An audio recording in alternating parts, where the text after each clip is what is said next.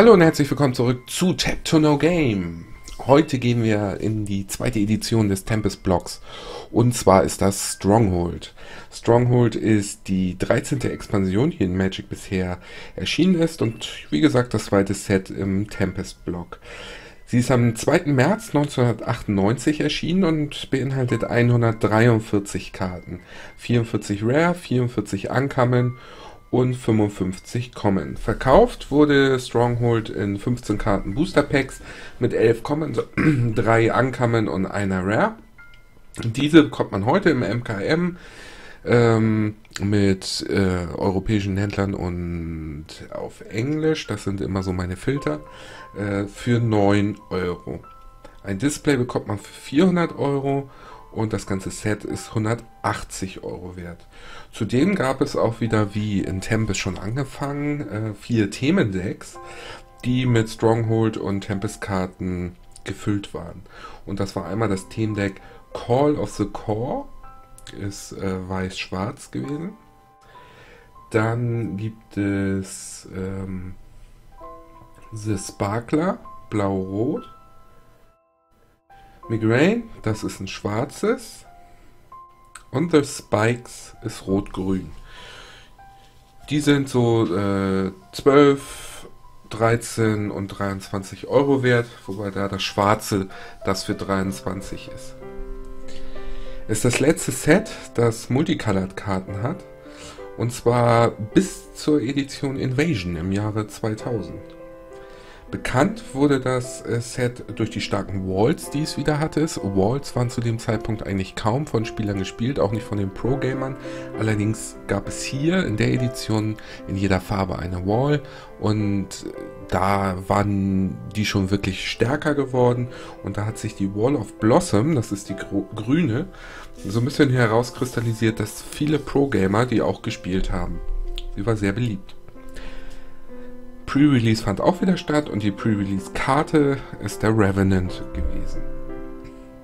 Am 13. April 2009 war die Edition kurzzeitig auch auf Magic Online zu erwerben, bevor sie 2015 dann mit dem Tempest Remastered teils wieder auftauchte.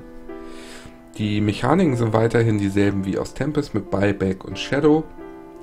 Äh, zudem gibt es die Fähigkeit Encore, die so ein bisschen auf Banding basiert.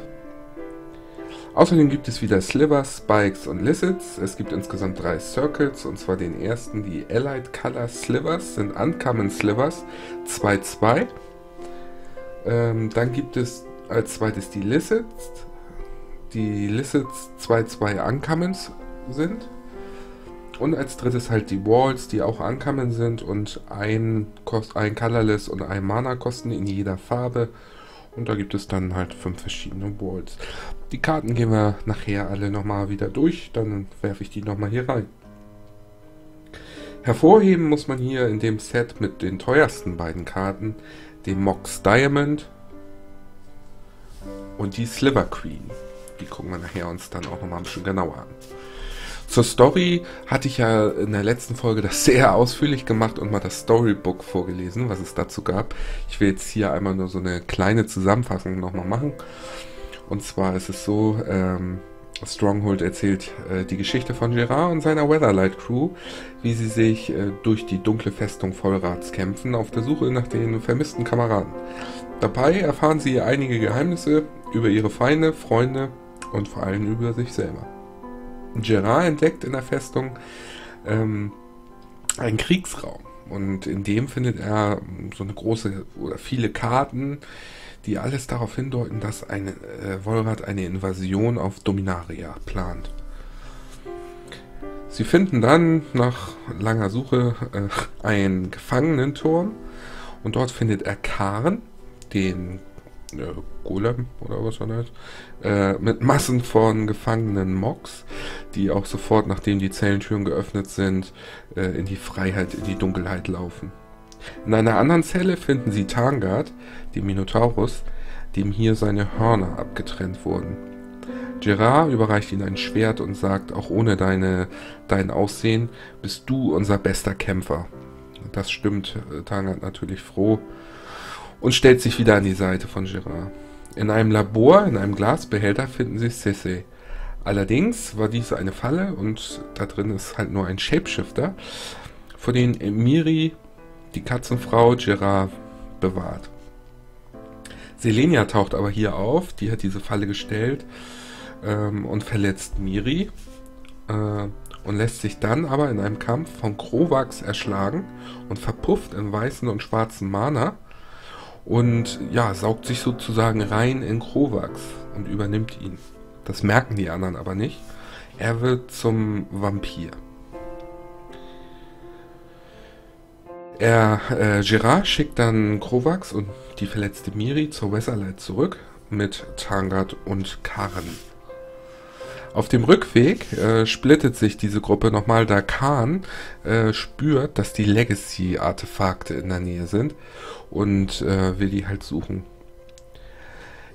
Er findet dann auch den Schatzraum quasi und dieser wird bewacht von der Sliver Queen und ähm, als die auf ihn losgehen will und ganz viele Sliver äh, aus sich herausholt, so quasi, kann Kani aber erklären, dass er auch ein Teil dieser Legacy ist und auch nur ein Artefakt und er jetzt nur äh, sich wieder zusammensetzen muss. Also er nimmt dann diese Teile und ja, die Sliver Queen lässt ihn damit ziehen. Ja, Gerard und äh, Stark, die ja jetzt noch weiter auf dem Weg sind, um Starks Tochter und Sissy zu suchen, ähm, dringen in die Dream Halls ein, wo sie sich vielen Szenarien aus der Vergangenheit stellen, halt, wie dies schon sagt, Dream Halls, äh, halt so äh, in verschiedenen Träumen und Albträumen da unterwegs. Mm, am Ende taucht Vollrad dann vor Gerard auf. Er erklärt ihm, dass das alles sein Plan war und ihm und dass das letzte Puzzle war, ihn zu kriegen.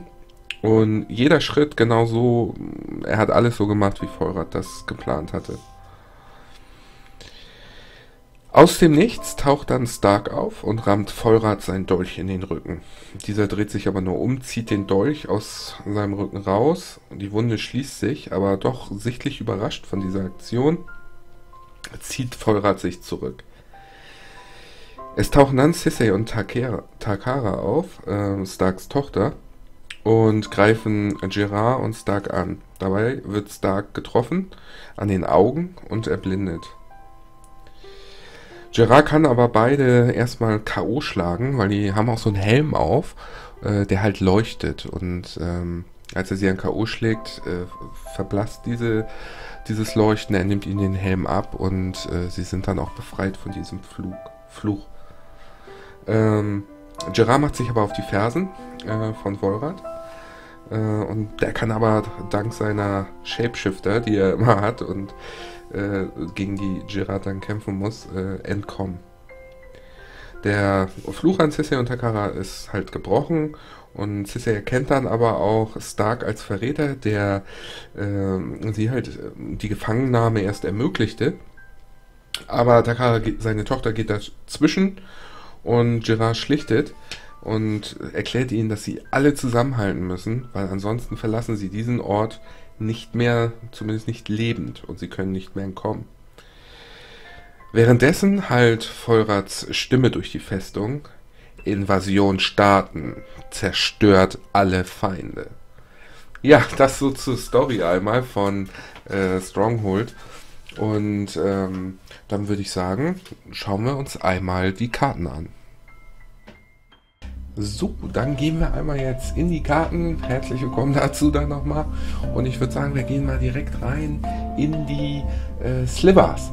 Und zwar gibt es ja jetzt dann äh, ja, das letzte Mal hier quasi ähm, Multicolored-Karten. So, da muss ich nochmal eben das einstellen. So, und dann fangen wir gleich mal mit dem Crystalline Sliver an. Und ja, der Crystalline Sliver cannot be targeted oder Slivers cannot be target of spells or abilities. Das ist ganz cool, muss man immer gucken, weil ja auch, wobei da ich mich jetzt frage, weil es ja auch dann die eigenen sind, ob da nicht dann auch die ganzen anderen Sliver-Effekte dann rausfallen quasi. Das wäre nochmal, hm, da weiß ich jetzt nicht so genau Bescheid. Da haben wir hier den Hibernation Sliver. Each Sliver gains pay to life, return this creature to owner's hand. Und dann haben wir hier den Acidic Sliver. Each Sliver gains für zwei Colorless. Sacrifices Creature. This Creature deals to damage to target Creature or Player für Rot-Schwarz. Rot-Schwarz. Das sind halt so diese Allied äh, Colors, also die Verbündeten. Und dann haben wir hier den Spine Sliver. If any sliver is blocked, it gets plus 1 plus 1 until end of turn to each creature blocking it. Und dann haben wir hier den Victor Sliver. Alle sind natürlich 2-2. Each Sliver gains 2 Sacrifices Creature Game for Life. Für Rot-Grün. Wieder ein Life-Gainer. Äh, es fehlt noch die Sliver Queen. Die, denke ich mal, kommt dann nochmal im Verlauf, weil die zeigt er mir jetzt hier gerade nicht an. Sonst suche ich die aber nochmal einzeln. Ansonsten würde ich sagen, gehen wir jetzt einmal die Karten durch. Ähm, und ich zeige einmal, welche ich denke, die da hervorzuheben sind. Das ähm, dann natürlich ganz nett. Äh, ich muss mir das nochmal hier ein bisschen anders packen gerade. So, äh, die ist natürlich da ganz nett. Äh, Contemplation. Contemplation. Uh, whenever you successfully cast a spell, gain one life. Das ist gar nicht so schlecht, wie ich finde. Ähm, muss jetzt nochmal hier so ein bisschen. Irgendwie ist das gerade nicht so optimal. So ist das, glaube ich. Äh, Moment. So müsste das dann, glaube ich, besser sein, ja. Ähm, genau. Äh, was haben wir noch? Hier haben wir dann auch wieder nochmal so eine typische Buyback-Karte. Ähm, die sind natürlich äh, in der Edition ja immer gewesen. Jetzt muss ich nochmal gerade auf meinen Zettel schauen. Ach ja, genau, okay. Ähm, genau, dann machen wir mal weiter. Da haben wir hier noch so ein paar Soldiers. Da ist jetzt aber nichts so äh, dramatisch, wobei ich hier das Artwork ganz cool finde bei dem Enchantment Rolling Stones. Walls can attack. Das ist natürlich schon mal ganz cool. Ähm, für zwei Mana. Das äh, ist gar nicht so schlecht. Haben wir hier Sacred Grounds noch. Whenever an effect controlled by any opponent puts a land into your graveyard from play, put that land into play. Also äh, eine Karte gegen Land Destruction Decks. Äh, auch mal interessant, finde ich. Ähm, dann haben wir hier auch einen coolen Artwork, den Sky Shroud Falcon äh, mit Fliegend Vigilance für 2 Mana 1 zu 1. Das ist okay. Ähm, was man auch gut spielen kann, Smite, das Tage Block Creature, auch sehr schön. Ein paar Soltari haben wir hier, wobei der ganz cool aussieht.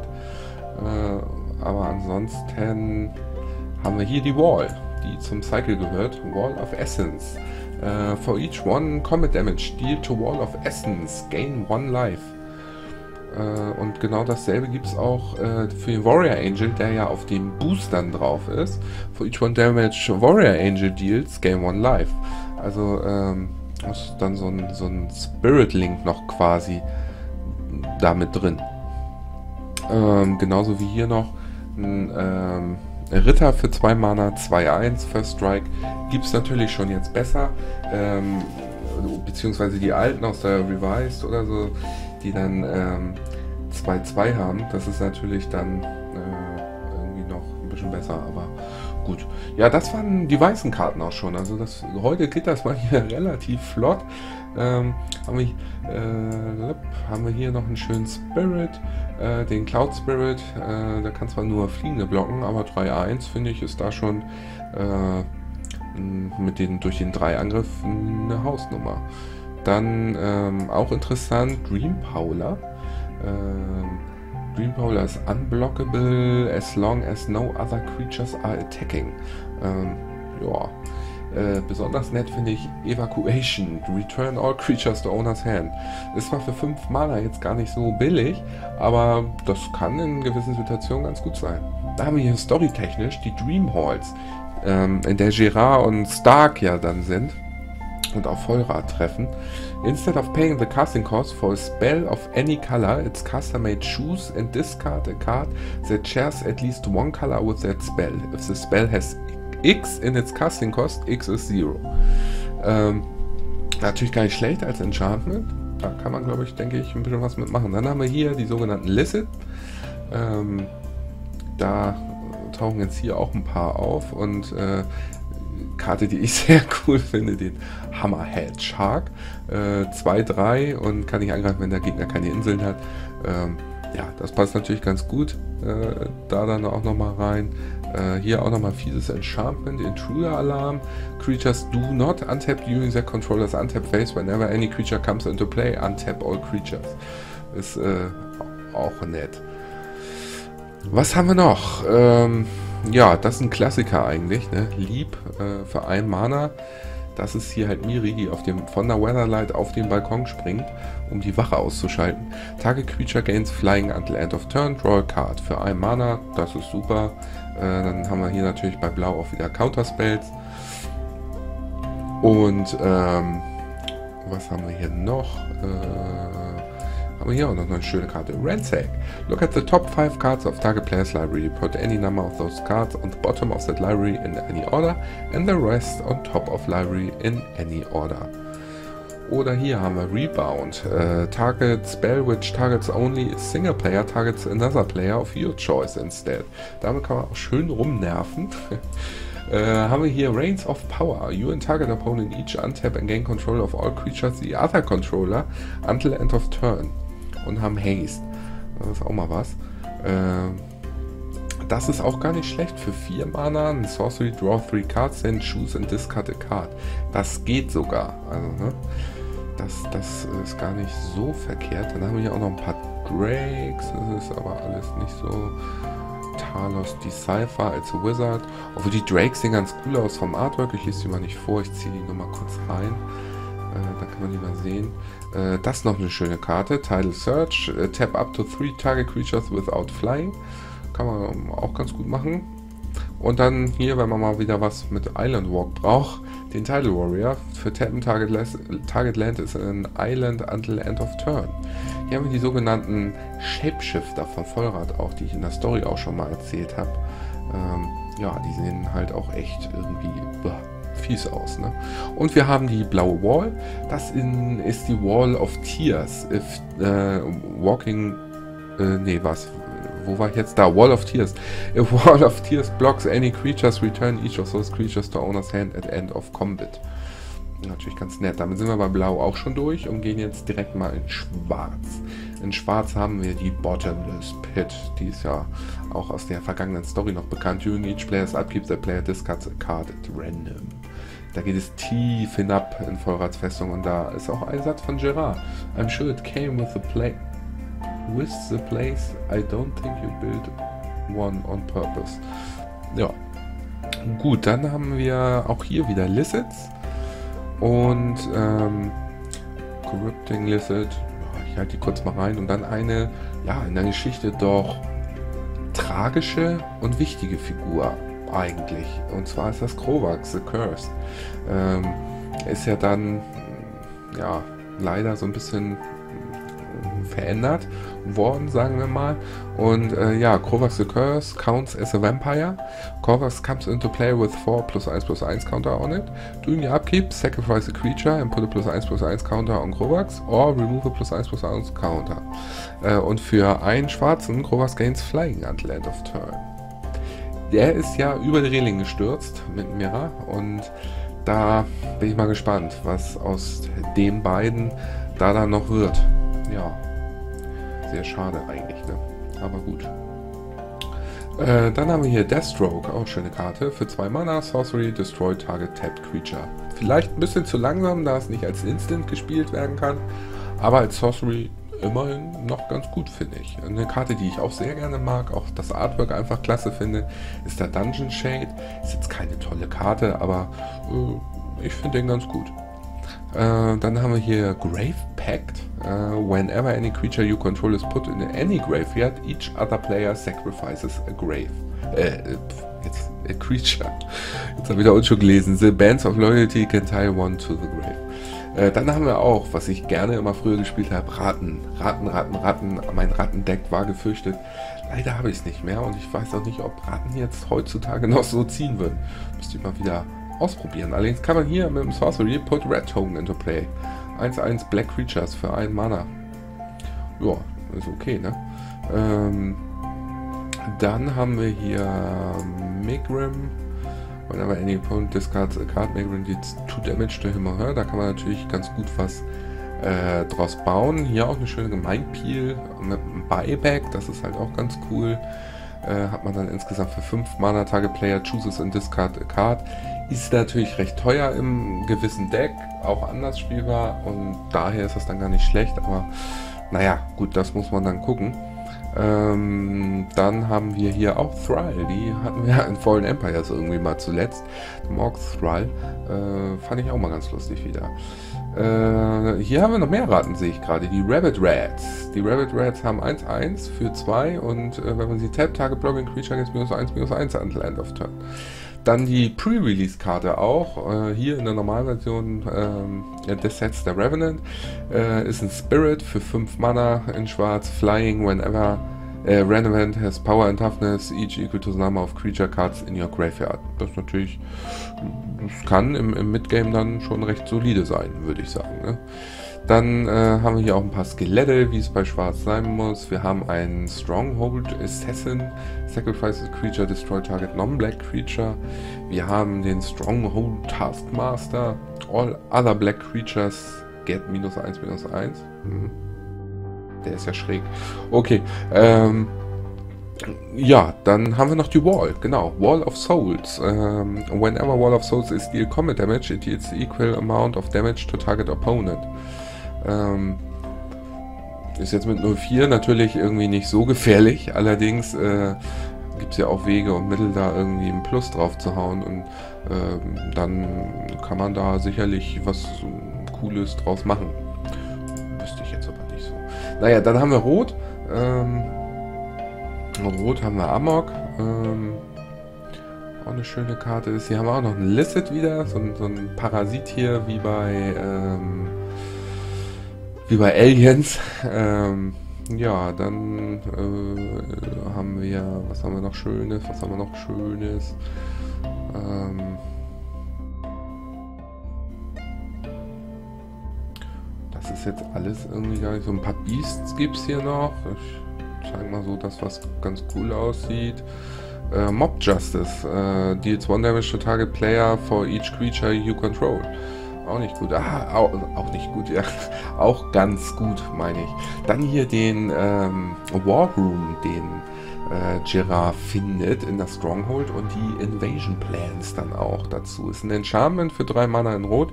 Each creature blocks whenever able. Attacking player chooses how each creature blocks. Das ist natürlich, hm, ähm, da es auch selber betrifft, hm, ne? Schwer spielbar vielleicht, aber Gut, dann haben wir Heat of Battle hier. Uh, whenever a creature blocks, Heat of Battle deals one damage to that creature's controller. Das ist halt, ähm, wo Takara, die Tochter von Stark, ihn äh, erblindet quasi und ähm, weil sie noch unter dem Einfluss vom Vollrad steht und Gerard sie dann K.O. haut mit dem, ähm, was unten am Schwergriff dran ist, haut er ihr, haut er sie mit K.O. Äh, dann gibt es natürlich auch wieder Goblins. Schöne Goblins. Die Mock Bombers, die Mock Flunkies, Mock Investation und der Mock Maniac. ähm, oh, das ist ja, die hatte ich gar nicht mehr so auf dem Schirm. Ruination. Destroy all non-basic lands. Hm. Ich kenne da jemanden, der nur mit äh, non-basic lands spielt seinem Sliver-Deck. Naja, ähm, Seizing Angel, Shard, Shard Phoenix haben wir hier noch. Seizing Angel war jetzt nicht. Ach, das kann ich auch noch gleich zur Story erzählen. Äh, Shard Phoenix haben wir hier fliegen, 2-2, ist jetzt nicht so doll, aber hier Seizing Anger ist äh, halt der gute Tanger, der seine Hörner verloren hat. Äh, aber er kann ja trotzdem kämpfen, ne? Und da bestärkt ihn Gerard ja auch Finde ich sehr, sehr schön. Aber auch endlich mal wieder seit langem eine schöne Hydra. Spinning Hydra comes into play with 4 plus 1 plus 1 counter on it. Und für 2 Mana in Rot remove plus 1 plus 1 counter from Spinning Hydra, Spinning Hydra die 2 Damage to Target Creature. Ist 5 Mana für eine 4-4, wo ich noch bam bam bam 4 mal Schaden schießen kann. Ähm, und dann wäre sie weg. ist eine gewisse Flexibilität, die gar nicht so schlecht ist, finde ich. Dann haben wir die Wall in Rot, das ist die Wall of Razors. Die äh, hat 4-1 First Strike. Das finde ich schon wieder richtig solide. Dann kannst du ordentlich schon mal was wegholzen. Ähm, dann gehen wir zu Grün. Grün, ja, Awakening passt ganz gut. Dieses Bündnis zwischen Elfen und äh, Zwerge, genau, Menschen, ähm, äh, was halt dazu führt, dass die mit Vollratsfestung angreifen. Das ist natürlich ganz gut. At the beginning of each player's upkeep, untap all creatures and lands. Ist auch nicht schlecht. Ähm, dann haben wir hier Burgening. Whenever any opponent plays a land, you may choose a land card from your hand and put it into play. Auch gar nicht schlecht. Auch in Grün haben wir ein paar ähm, Biester noch. Ähm, dann hier auch äh, Crossbow Ambush. All creatures you control, you control can block creatures with flying until end of turn. Ähm, da haben wir auch wieder einen Elefanten hier. 4, 5 für 4. Äh, allerdings auch mit einem kleinen Drawback dann. Ein Basilisken haben wir mal wieder. Den haben wir auch lange nicht mehr gesehen. Whenever Lowland Basilisk damage any creature, destroys a creature at the end of combat. Also ist sozusagen für 3 Mana 1-3 Death Touch in grün. Ähm, das finde ich eigentlich gar nicht schlecht.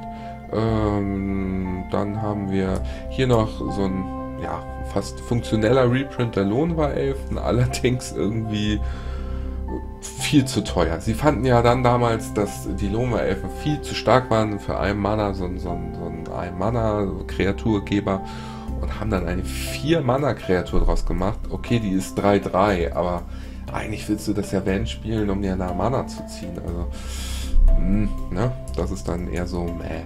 Dann Provoke hier. Untap target creature you do not control. The creature blocks this turn if able. Draw a card. Das ist wiederum gar nicht schlecht. Äh, genauso wie äh, das schöne Enchantment Primal Rage. Primal Rage. All creatures you control gains Trample für 2 Mana. Auch nicht schlecht. Oder was ich auch gerne spiele, Overgrowth. Whenever Enchanted Land is tapped for Mana, produce an additional 2 Forests. Also 3 dann. Ähm, dann haben wir auch wir, haben wir die Spikes die passen sind natürlich in grün. Die werfe ich hier einmal rein, dass, da die ein Teil des äh, Circles sind. Haben wir hier fünf Stück auch.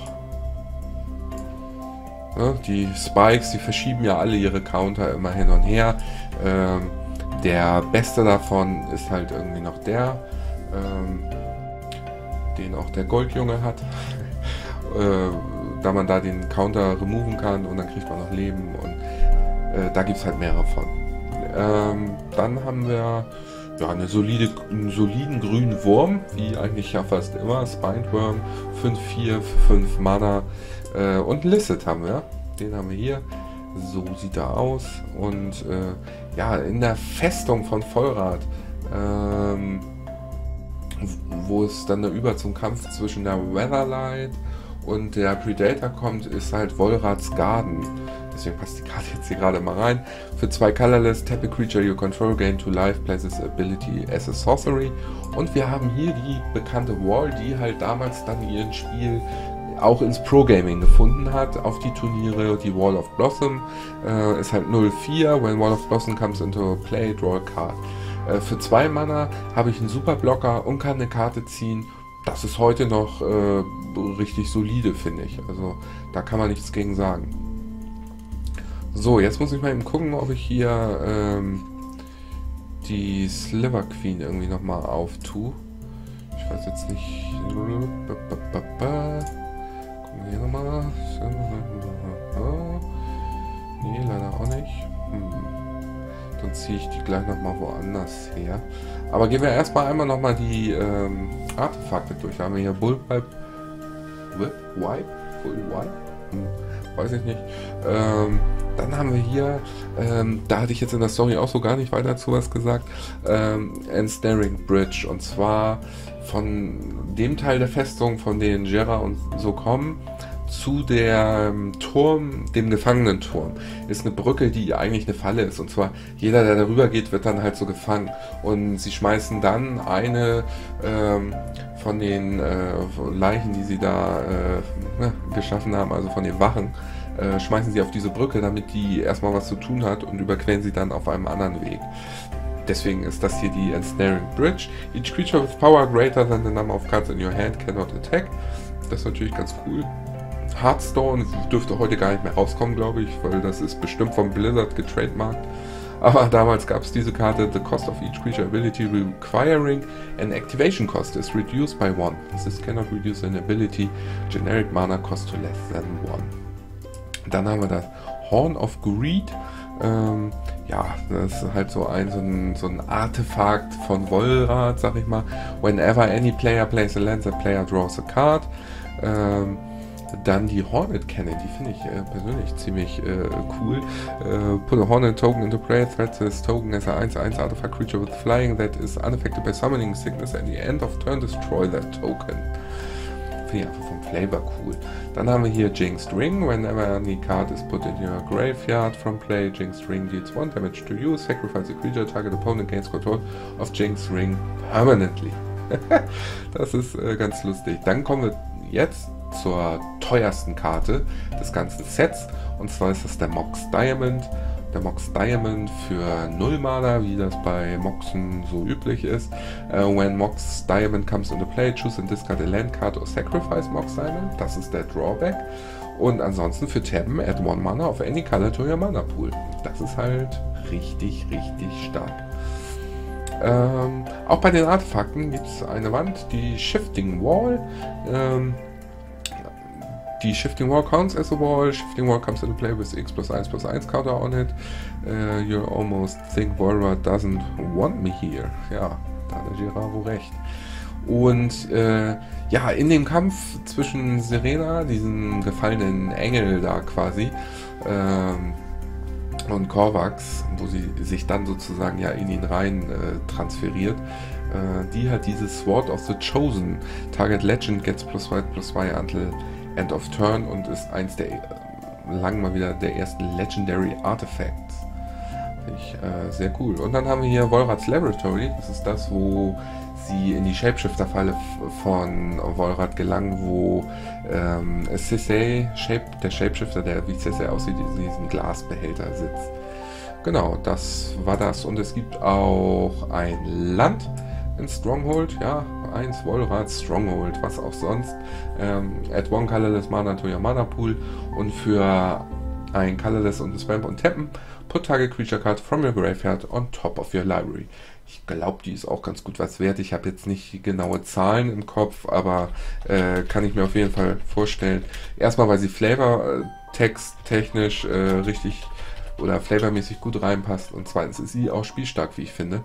Ähm, und ich suche jetzt einmal gerade nochmal die Sliver Queen, die aus Gründen, die ich nicht ersehen kann, irgendwie hier in diesem Spoiler auf der Webseite fehlt. Und versuche das mal so. Da ist sie, die Sliver Queen. Äh, counts as a Sliver. Und äh, für zwei Mana put a Sliver Token into play. Threats this token as a one-one colorless creature. Das waren also die äh, Stronghold-Karten. Und ja, ich fand oder finde, das ist ein recht schönes Set. Ähm, es ist natürlich heute wieder relativ schwer. Also zum Beispiel äh, Mox Diamond ist so 40 bis 50 Euro wert. Die Sliver Queen zwischen 20 und 30 Euro. Das variiert halt. Äh, wären natürlich schöne Karten, die jetzt noch irgendwie zu haben, aber also das ist mir dann erstmal zu viel und da bin ich raus.